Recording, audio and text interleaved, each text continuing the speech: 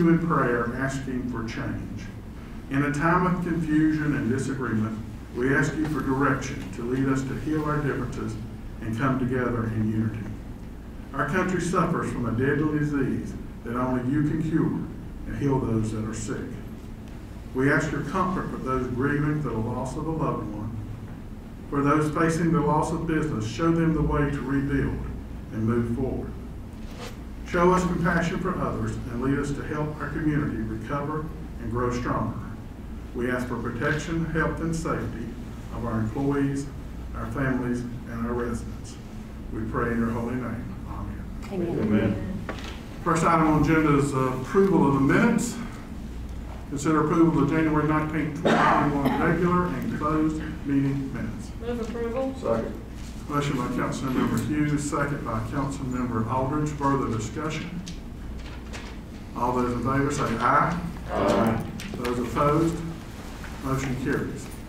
Agenda adjustments, I want to add an item after number 11 to discuss some comments about our electrical rates. So moved. Second. Motion by Councilmember Hall, second by Councilmember Aldridge. Further discussion? All those in favor say aye. Aye. Those opposed, motion carries. I have no unannounced allegations. Administrative reports. A request for a change to contract two, phase two, to utilize unspent project funds. Adam Kiker is here if we have questions, and he'd come forward, Howard, and make a presentation, please. Uh, Yes, good evening, Mayor and members of council. Uh, We do not have a a formal presentation tonight. Uh, What we are, um, have brought before you uh, tonight at the request of your staff and with our recommendation is using the very last uh, of the Phase Two project funds to address an issue at the wastewater treatment plant. Uh, You have two, for those of you who have visited that plant, or if you recall, at the older part of the plant, if you, uh, it has a berm around it. So during heavy storm events, there are two pumps that are used to de-water the site uh, to keep the water level from rising. Uh, Those pumps have been in service for uh, probably pushing 70 years now. One of them is not working, the other one works but is a little bit uh, at risk. And so uh, we have received approval from the funding agency, if you so desire, to use the last funds from the Phase Two project to replace one of those pumps. Uh, In our opinion, I think your staff would support this, that this is something you would need to budget for regardless in coming budget years. And um, so if you so choose, you can include this uh, in the project funds as a change order to the construction contract. And this would be something we would do regardless of what decision council makes on the method of how we treat solids later. That, uh, yes, sir. Yes, sir, that is correct. Yes, it's not related to the treatment process, it's more of a, uh, just general maintenance for the site. Yes, sir. Council have any questions? Move approval? Motion by Councilmember Hall to approve the change, second by Councilmember Dry. Further discussion? All those in favor say aye. Aye. Those opposed, motion carries. Thank you, Mayor. Number five, your municipal calendar is in your agenda. Does anyone have any questions or comments? Moving on to the consent agenda, number six, ordinance 2104 is to appropriate CARES funding in the Department of Public Housing and insurance proceeds in the general fund. Number seven is ordinance 2105 to amend the assistance to firefighters grant budget. And number eight is confirmation of the ADDC Board of Directors. And number nine is a proclamation for the National Future Leaders of America Phi Beta Lambda Week. Mayor, if I just may, um, the calendar for the ADDC Board of Directors, I think, it says 2020, I think that's just an error, but, uh, 2021, but it's showing 2020 on the attachment. Thank you, I think that is uh, an error. Move to approve. Uh, Oh, I just, I would like to pull off the, the PBL, I'd like to pull off number nine, just to- for it to be read, just because it mentions some folks within our community that I think need that recognition. Mr. Aldridge, is your, move to approve with the exception of number nine. okay. Second. Motion by Councilmember Aldridge, second by Councilmember Townsend. Yeah, thank you. Further discussion? All those in favor say aye. Aye. Those opposed, motion carries. Moving number nine, the proclamation for the uh, Phi Beta Lambda Week. Ms. Hall, would you read that? Will indeed. Before I start this, though, I would like to publicly recognize Dan Hazlett. Um, Mr. Hazlett has been a a fixture at Stanly Community College, even when it was Stanly Technical College.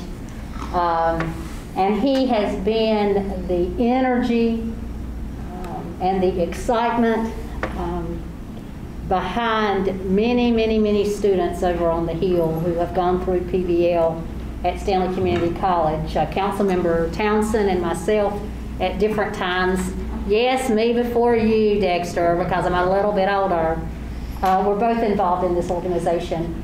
And Dan Hazlett not only has done things on the Hill for Stanly Community College for that particular chapter, but he has served in the role as in leadership roles for both the state chapter and the national chapter for PBL for numerous years.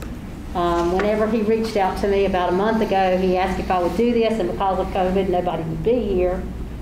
And I, he even reached out to me again over the weekend, and I said, yes, it's on there, and we got it taken care of. And uh, in my response to him, he said, well, I'm working on the state conference as we speak. So um, just uh, public recognition, and he has no idea that I'm doing this, to Dan Hazlett, and to the hours, many, many, many hours, that he has given unselfishly to this organization for many, many years. Proclamation National FBLA PBL Week, February 8th through 12th of 2021. Future Business Leaders of America, Phi Beta Lambda. Whereas Phi Beta Lambda and Future Business Leaders of America develop confident, aggressive business leadership. Whereas PBL and FBLA strengthen the confidence of students in themselves and their work. Whereas PBL and FBLA encourage members in the development of individual projects which contribute to the improvement of home, business, and community. Whereas PBL and FBLA develop character, prepare students for useful citizenship, and foster patriotism. Whereas PBL and FBLA encourage efficient money management. Whereas PBL and FBLA encourage scholarship and promote school loyalty. Whereas PBL and FBLA assist students in the establishment of occupational goals. Whereas PBL and FBLA facilitate the transition from school to work. Be it resolved that Albemarle, North Carolina participate in the national designation of Phi Beta Lambda Future Business Leaders of America Week, February 8th through the 12th of 2021. In doing so, the City Council members applaud the aforementioned goals and recognize the continued contribution and successes of the Phi Beta Lambda chapters at Stanly Community College and Pfeiffer University. Particular recognition is given to Allison Smith for serving as the state PBL officer this year. The council members applaud the PBL chapters on their awards at the 2020 state and national PBL competitions, especially to Stanly Community College, for being named a state and national Gold Seal chapter, as well as winning first place in the state for its local chapter annual business report, and first in the state and third in the nation for its parliamentary procedure team. Special recognition is also given to Mr. Lee Pickler, Stanly Community College graduate and owner of Scan Online, who was selected at the State PBL Business of the Year for 2020 and one of two recognized at the national level. Council members also wish to also wish all current PBL students success as they prepare for participation in the 2021 State Leadership Conference and competitive events. These chapters have conducted programs and projects that have highlighted and have brought recognition to their respective campuses, Albemarle, and Stanly County. Most importantly, they have provided the opportunity for leadership development that has resulted in outstanding citizens and business leaders. Albemarle City Council congratulates Phi Beta Lambda and the Secondary Division of Future Business Leaders of America and are pleased, pleased to salute them publicly during this week of national emphasis. Thank you all very much for doing this, and I will hand deliver this um, probably tomorrow to, to Dan Hazlett. So thank you. I'll entertain a motion to approve. So moved. Motion by Councilmember Aldridge, second by Councilmember Lowder. Further discussion? All those in favor say aye. Aye. Those opposed, motion carries. Under new business, consider amending the city policy to allow for remote public participation for quasi judicial proceedings. While I probably don't agree that we need to do this forever, I think under COVID right now, we probably don't have a whole lot of choice but to offer this. But I think after COVID, I would rather see most quasi judicial with everybody standing here in front of us rather than just hearing that by phone. But I would agree that at this time, we need to approve this if council so chooses. So- So would you recommend that we approve it like, say, a one-year time frame and then come back and revisit it? That's totally up to council, or you can approve it with a date or without a date, totally up to you. And the only thing we're doing is changing, if I, if I look at it correctly, in subsection six. When we originally adopted this, I don't think you could do quasi judicial, but that has now been changed. And uh, we do need to allow quasi judicial during COVID. And so just for clarification to the public, Sure. This would be anyone, anyone wanting to present before us, not just us as the body that would be hearing the information. Is that right? Wait a minute, start, back, back up now and tell me, are you talking about anything or just quasi? Quasi judicial. If they have standing. If they have, sta- they still have to meet the qualifications. Yes. And again, I'm playing devil with this because there is a time that they have to be sworn. And they would still be sworn, is that correct? That is correct, and with the electronic participation, particularly with quasi-judicial proceedings, beforehand, they'll have to sign an affidavit saying that they swear that they agree to the remote uh, participation, just, just so they can't challenge due process considerations after the fact. So there's a little more paperwork to go along with it, but all the procedural elements will be met. Okay, so with that, if we were to approve this as it is right here, is that something that we need to have within the body, the policy or the procedures that we would need to follow? If they decided they were going to do it this way, they have to do da, da, da, da, da?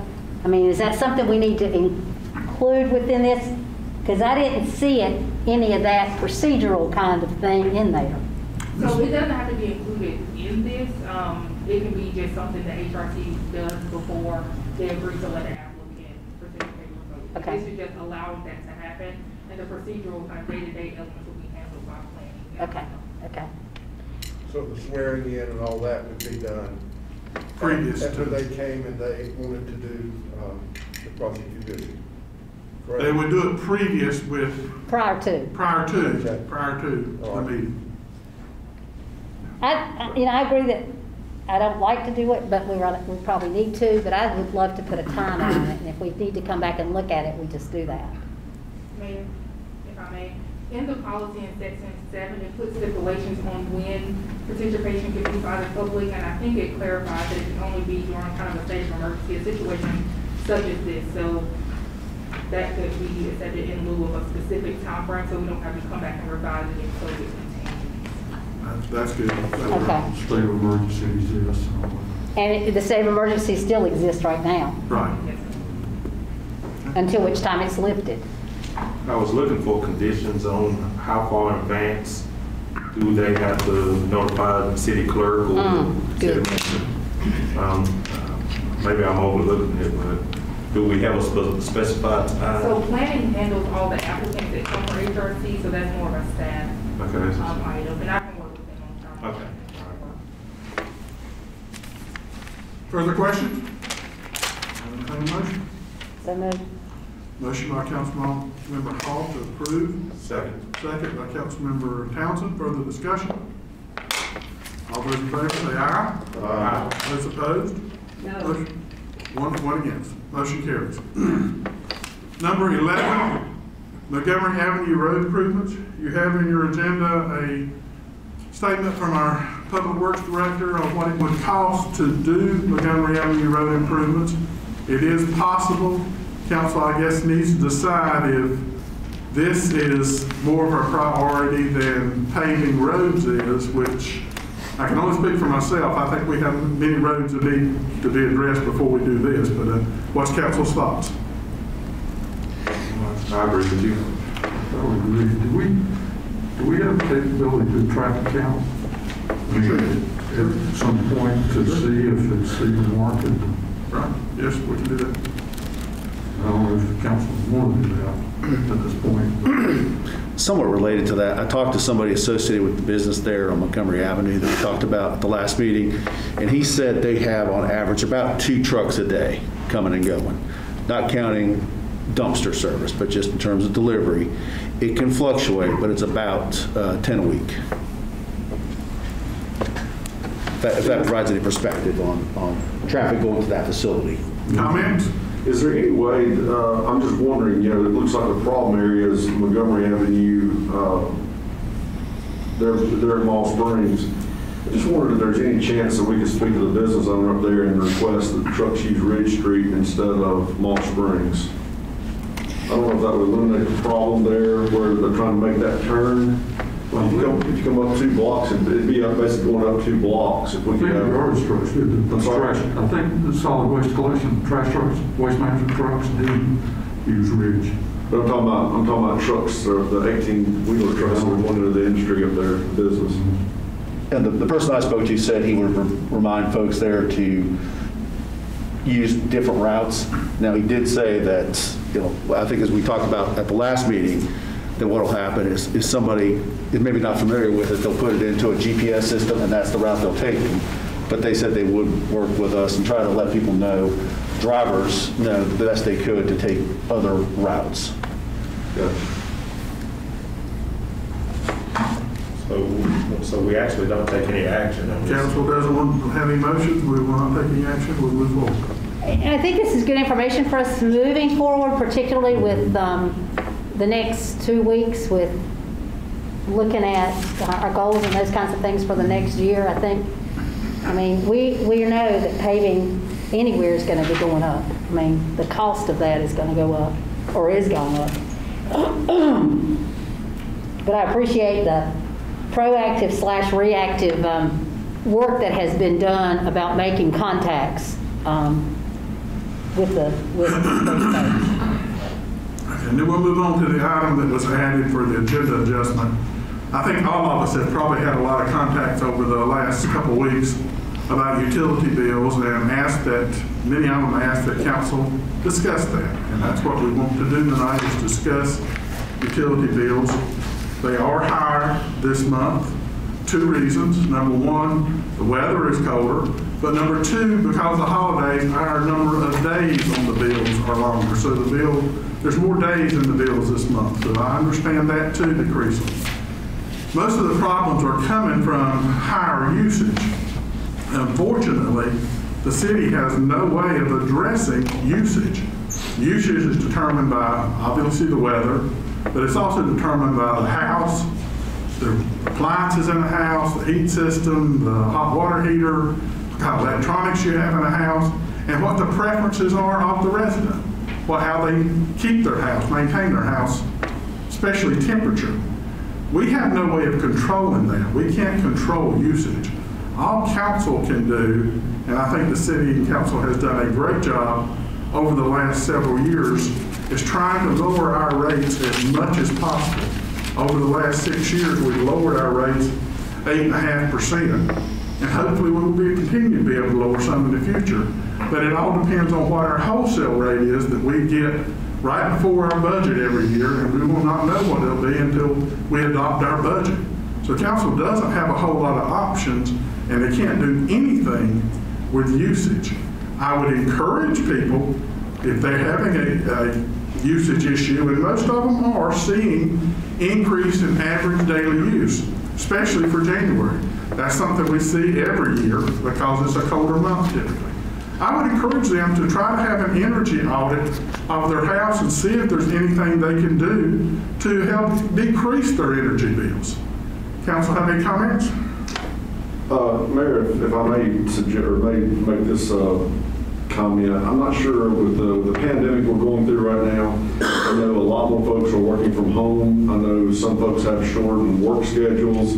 I know a lot of our students have been doing remote learning. I just wonder if, if that if that situation combined with the the cold temperatures and things of that nature could be having a adverse effect on these, on these energy, or on these power bills and and driving them up to a certain extent.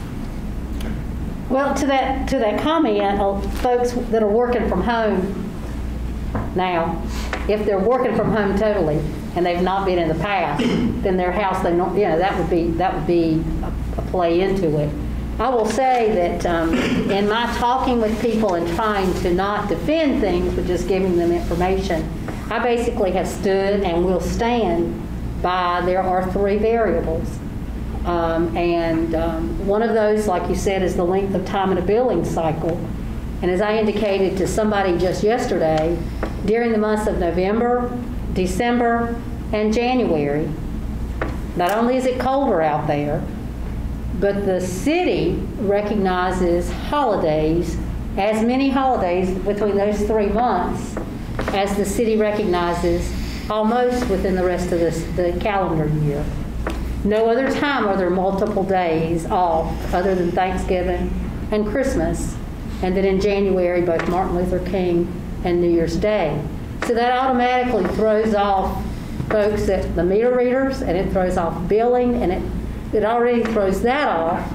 And, and then additionally continues to lengthen that time. If in a regular month you've got 28 to 30 days and then you've got a um, a bill that's 35 or more days, that's already 20% more. And I've really tried to say that to people, as well as uh, what you just indicated, Mr. Aldridge, that more folks are staying at home all the time and working from home. Um, And just the usage itself.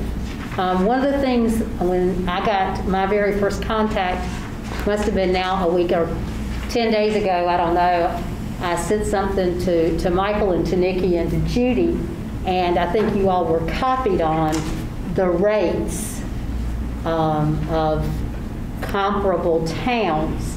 Some of those towns were other ElectriCities towns. Um, And then there were some private companies, REA and Duke, about what their rates are. I would continue to remind people as well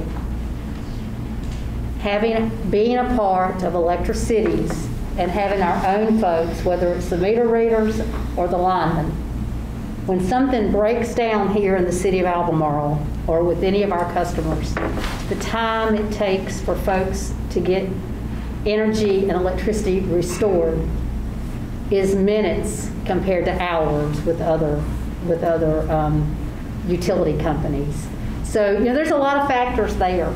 Um, But I think that individually, just as you all have indicated, those are the major ones right now. And the time. And we, all like you said, we always have it. And the main reason, in my opinion, other than usage, is the number of days in a cycle.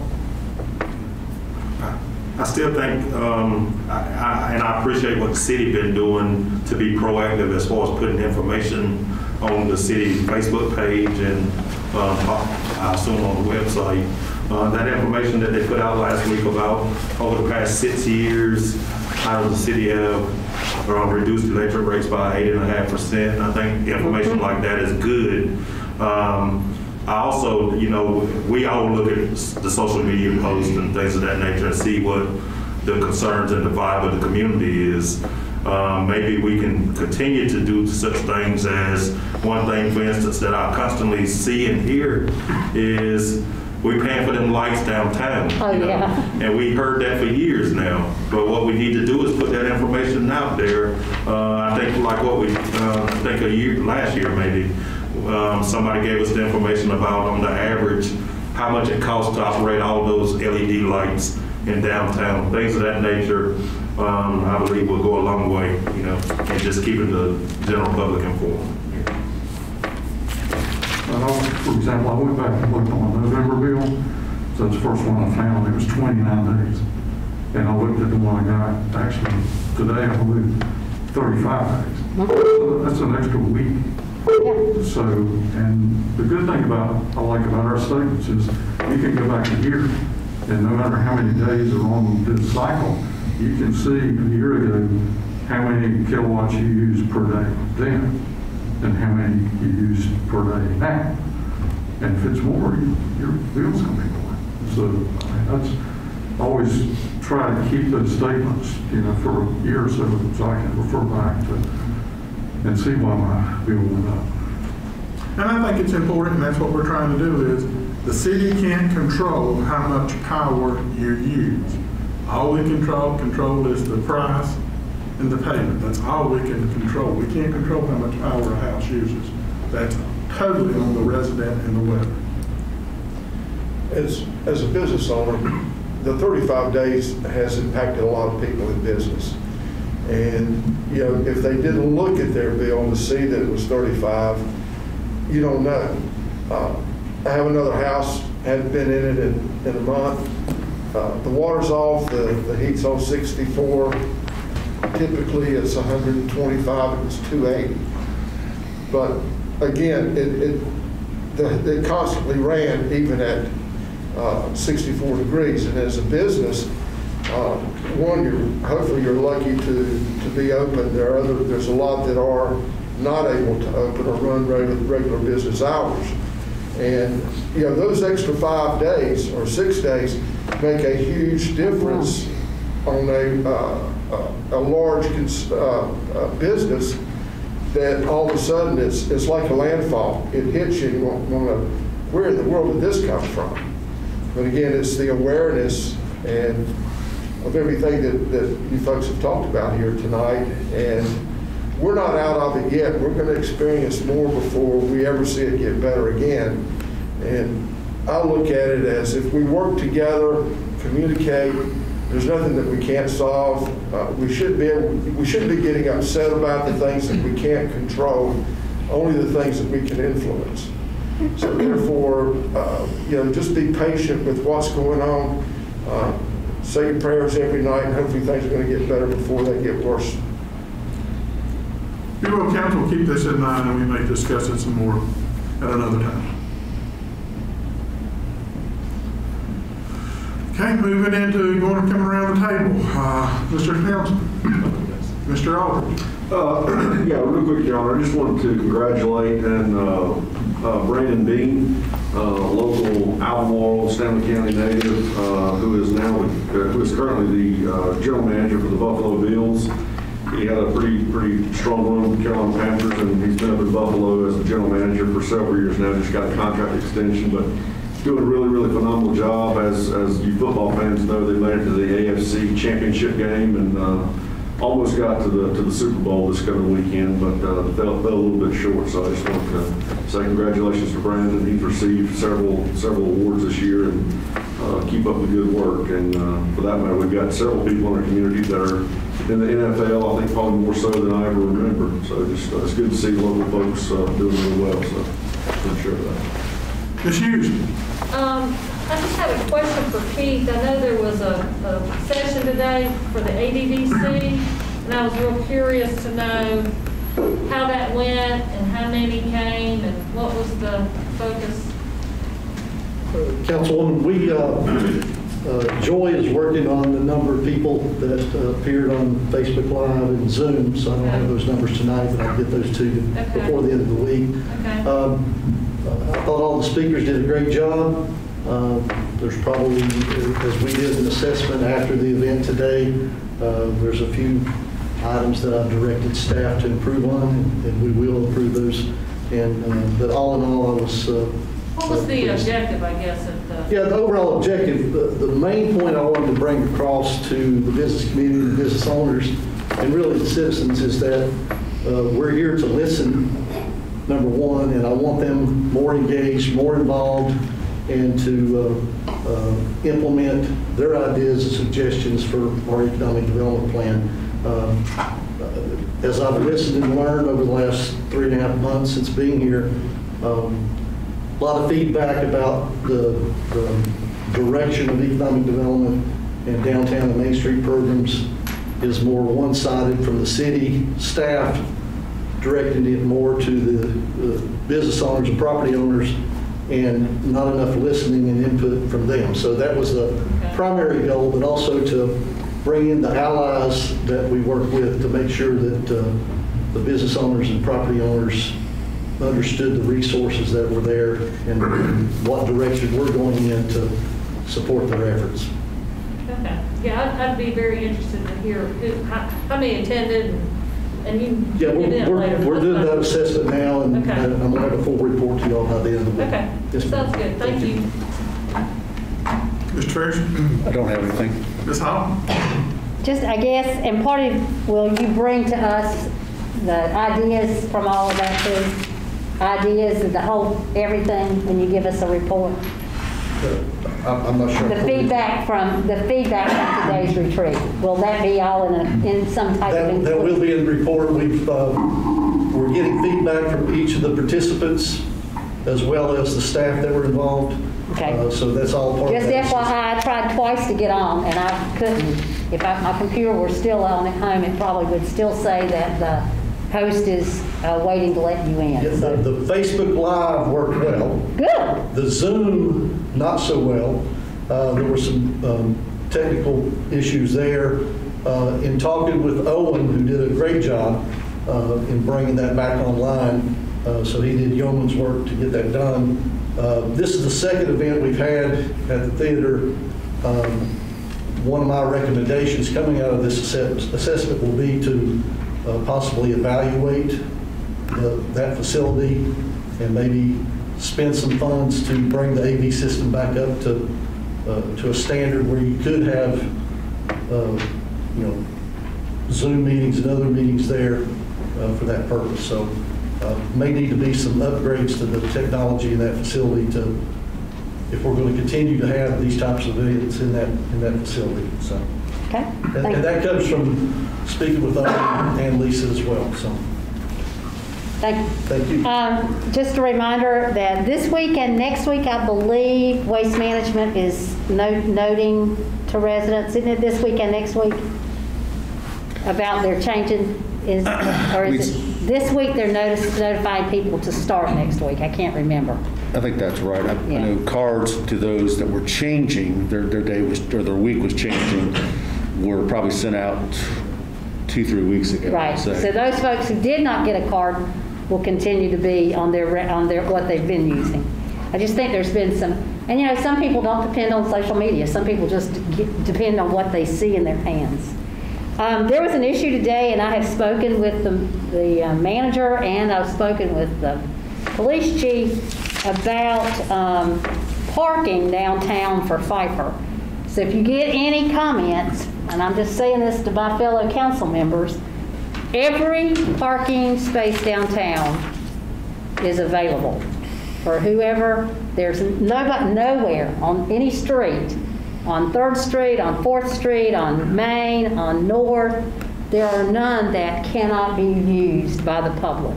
Therefore, they can, they all can be used by our students at Pfeiffer. So, um, just because a parking spot's in front of your house does not mean that parking spot is yours.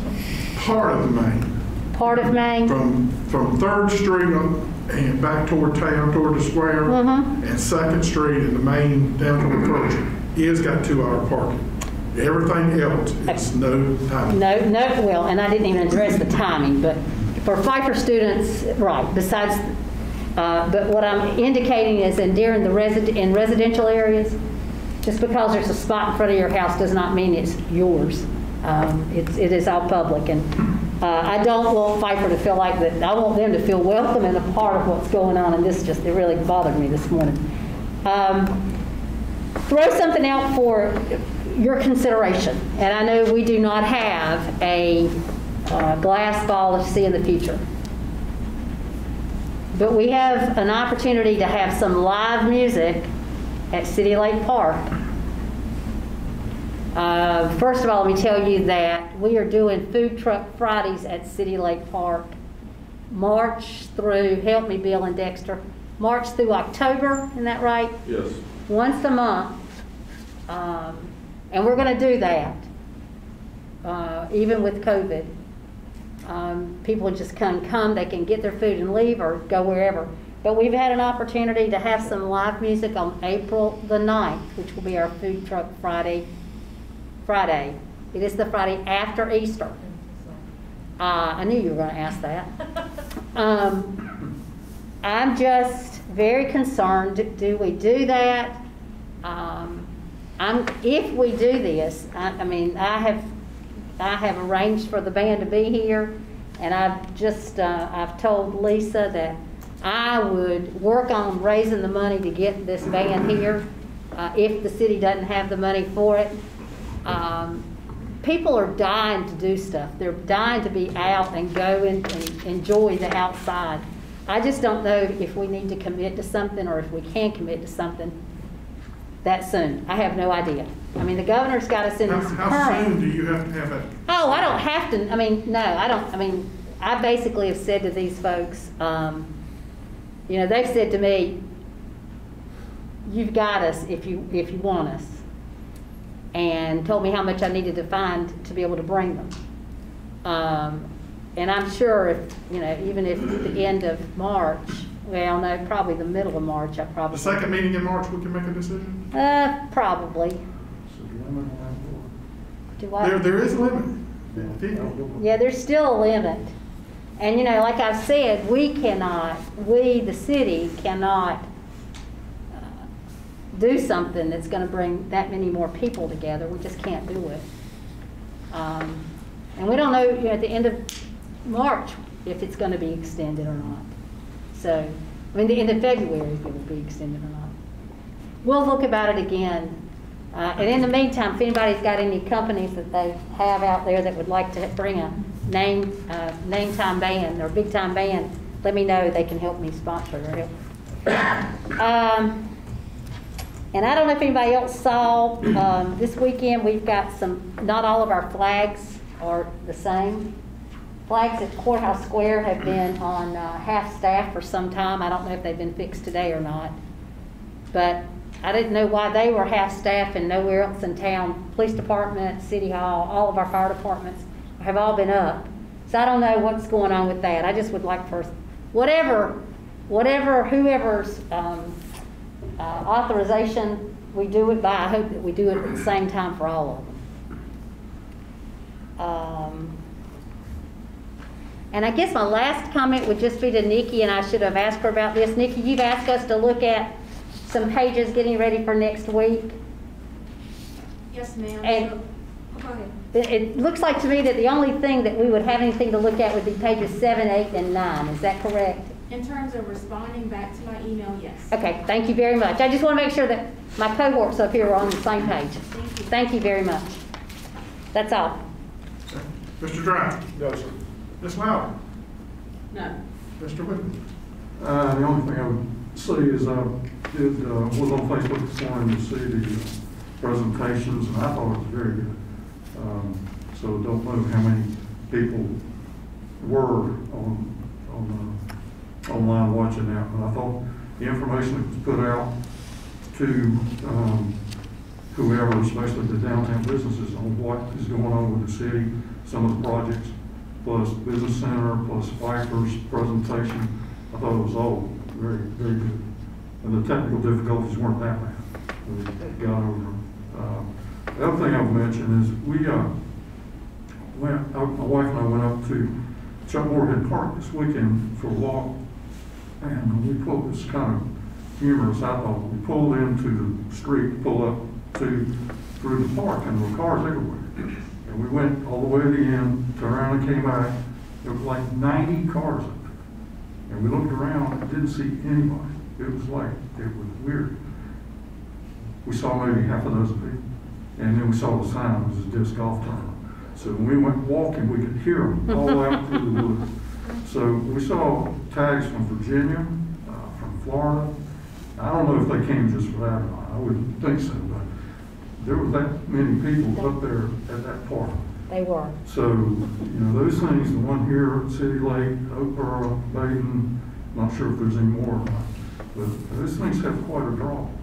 And, uh, which brings me to another thing. I've got a few things I want to mention during our budget session on some possible deferred maintenance out there. See if there's anything we can do about a couple of items. But uh, I just thought I'd bring that up. We just happened to go up there and I was, I was shocked. There was that many people up there. That's it. Want to have anything else? Okay, I'll entertain a motion that we go into closed session pursuant to North Carolina General Statute one forty-three, three eighteen, eleven A, one, three, four, and five, to prevent disclosure of information that is privileged or confidential pursuant to the law of this state, legal, to consult with the city attorney to discuss real estate and economic development. So moved. Motion by Councilmember Aldridge, Second. second by Councilmember Dry. Further discussion? All those in favor say aye. Aye. Those opposed, motion carries.